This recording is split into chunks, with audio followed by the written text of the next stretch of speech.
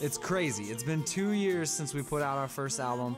Heck, some of those songs were written three years ago already. Um, what the songs mean to me now is so much different than what they meant then, and I'm excited to revisit them. We played over 120 private shows last year, and although we played our most popular songs quite a bit, many of our songs were never performed at all.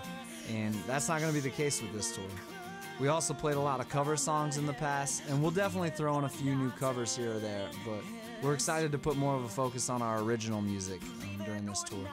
We have several new songs that we have yet to play as well, and with Brooks playing percussion, it's a completely different experience than any of our previous acoustic shows.